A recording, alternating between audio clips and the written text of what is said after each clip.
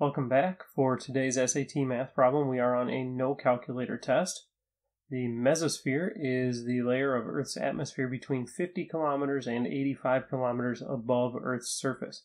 At a distance of 50 kilometers from Earth's surface, the temperature in the mesosphere is negative 5 degrees Celsius, and at a distance of 85 kilometers from Earth's surface, the temperature in the mesosphere is negative 80 degrees Celsius.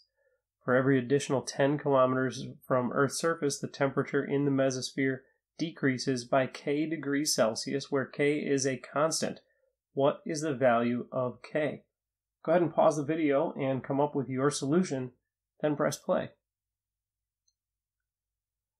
So what we're going to do here is find the slope. And the slope is going to tell us how many degrees Celsius we're decreasing by for every one kilometer.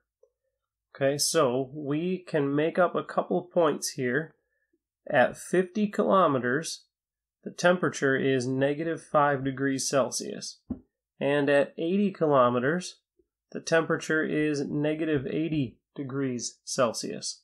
So these are our two points. Now the slope is y minus y over x minus x. So that's negative 5 minus negative 80 over 50 minus 80.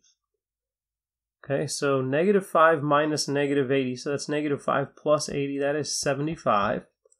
50 minus negative minus 80 is negative 30. So we have negative 75 over 30.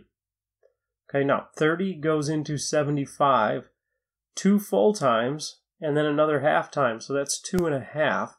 So this is equal to negative 2.5 over 1, which means the temperature decreases 2.5 degrees Celsius for every 1 kilometer.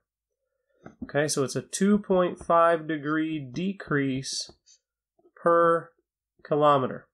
Now, this says for every 10 kilometers, we decrease by k.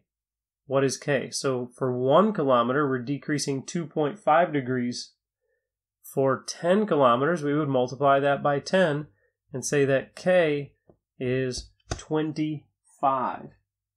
So for number 20, we're going to put 25 in our grid.